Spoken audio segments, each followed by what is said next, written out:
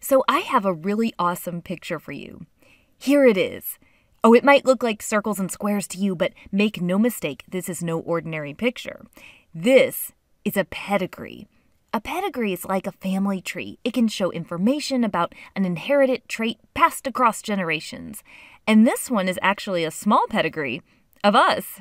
Well, our human forms. See, that's me, my sister, my mom, my dad, I'm not arbitrarily picking random shapes to represent us either. In a pedigree, the circles represent females, squares represent males.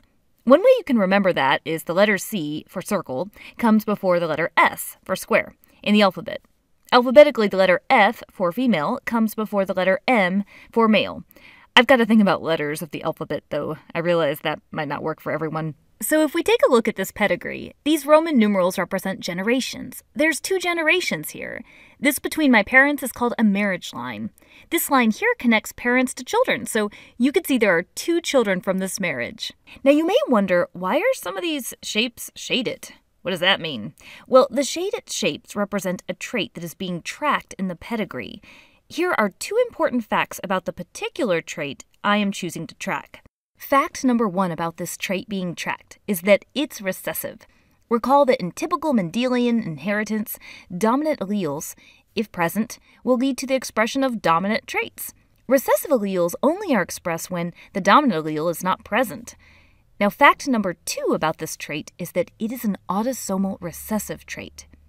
Just a reminder that autosomal means a chromosome that is not a sex chromosome. In human body cells, there are 46 chromosomes. The first 44, 22 pairs, are autosomes. The last two, one pair, are sex chromosomes. So this trait is not sex linked since it is autosomal, and that means it does not need to be written as coefficients on the sex chromosomes. So, what is the trait we're tracking? Attached earlobes. Yes, you might not realize it, but look around and you'll see that humans they have free or attached earlobes. Although we want to point out that there may be more than just these two categories for earlobes. And while this example is used often in basic genetics, there's probably more to this than just one simple gene. For our example, let's assume a simple gene trait, and that free earlobes is dominant, meaning at least one dominant allele must be around. Attached earlobes is recessive, showing when no dominant allele is present. So if we were to put the genotypes next to each of these shapes, what would they be?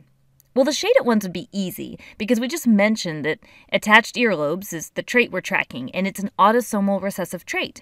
So if we use the letter E, then these shaded shapes must be lowercase e, lowercase e. Any capital dominant letter, and the individual would have to have free earlobes and not be shaded. So let's look at individual 2 in the first generation. That's our father. He's not shaded, so he can't be little e, little e. What about big E, big E? Well, there's a problem. See his children? Us? each child must get an allele from each parent. So if I received a little e from my mom, then I had to get the other little e from my dad. Therefore, he can't be big E, big E, or he'd have no little e to give. His genotype must be the heterozygote genotype, big E, little e. He's what we call a carrier, though. He still has a phenotype of free earlobes because of that one capital, but he carries the lowercase allele. Now, that's just one tiny pedigree. Let's look at a big family reunion.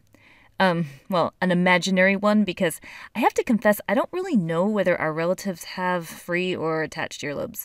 I thought about sending a survey to them, but it just felt a little awkward. So here we go big, giant, imaginary family of relatives.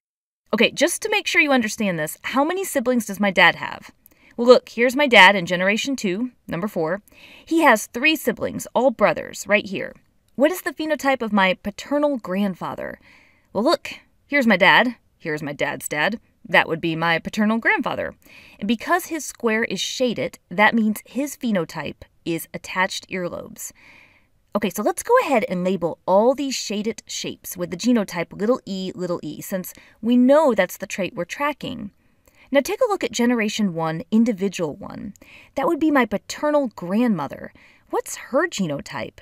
We know it's not little e, little e, or her shape would be shaded. But if we went with big E, big E, could that still work? Yes, all the offspring could get a big E from her and a little e from my grandfather. But what about big E, little e? Would that work too? Yes, because the children could still get a big E from her and a little e from my grandfather. It may be less of a probability, but it's possible, and therefore we must list both that she is a big E, big E, or big E, little e because we don't know. All the offspring of my paternal grandparents, though, they're going to have to be big E, little e. Remember, they have to get an allele from each parent, and that means they're going to have to pick up that little e from my grandfather. They will be heterozygotes, and that's the only option here. Pause this video and try to solve the right side of this pedigree now. Ta-da! Imaginary family done. So how'd you do? Well, here are some of the tricky ones. Did you see that generation 1, individual 4, has to be a carrier only? Because if not, then the shaded individual children would not be able to get the little e little e that they have, because they have to get a little e from both parents. How about individual 9? This female married in, but that's not the reason that she can be either Big E Big E or Big E Little E.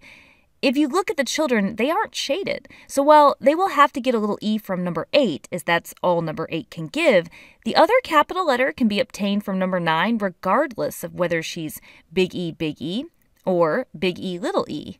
Remember, one option may be more likely, but if it's possible, you need to include both. Now, remember how we made a big deal about how this was an autosomal pedigree? Well, what if you're dealing with a sex linked trait and therefore a sex linked pedigree? There are a lot of sex linked recessive traits. Color blindness and some male patterns of baldness can be sex linked. Let's pretend now that we're told this is a sex linked recessive trait. I'm going to keep the old labeled pedigree here that showed an autosomal recessive trait just for comparison, but now here's a brand new sex linked pedigree. First of all, all the females, the circles, should have an XX to indicate two X sex chromosomes by them. Remember, females have two X chromosomes. Males should have an XY to indicate an X and a Y sex chromosome. That's always a good thing to do first. Now remember that we were told this pedigree is tracking sex-linked recessive traits, so the shaded one here has the sex-linked recessive trait. A reminder from our sex-linked video about how this works. Let's use the letter R for an allele. Now recall that females that do not have the trait, they can be either this or this, and the heterozygote genotype, this, is a carrier. She doesn't have the trait herself because of the dominant allele, but she's carrying it. Only a female that is this will have the sex linked recessive trait. So, if I'm looking at this pedigree, what would the genotype for individual 1 in generation 1 be? Well, notice here she has three children, and one of her sons here is shaded. Where does her son get his Y sex chromosome from? The father. Where does he get his X sex chromosome from? His mother. Individual 1 doesn't have the trait, or she would be shaded, but she must be a carrier if her son received an X chromosome with a recessive allele on it. Now, what about individual 2 in generation 2? Well, she can be this, like her mother, but look, she could also be this because it's possible to get one of those from each parent. If it's possible, you must include it. Now, pause the video and try the last female. How'd you do? Remember, the key here is to always check and make sure that when you look at a child, they have to be able to get one of their alleles from each parent. Now, remember that both of these examples were recessive. It doesn't have to be that way. On our handout, you can try one that follows an autosomal dominant trait. If it's a dominant allele that you're tracking, remember it would only take one dominant allele for a person to have that trait. Another quick thing to point out is sometimes you will see pedigrees that are half shaded. Well, that's just awesome because they're basically letting you know that the half shaded ones are carriers. If I wanted to turn our first one into that, that half shading, then it would look like this. Mapping and understanding pedigrees is important, especially as we continue to make advancements in understanding how genetic disorders are inherited. Well, that's it for the Amoeba Sisters, and we remind you to stay curious.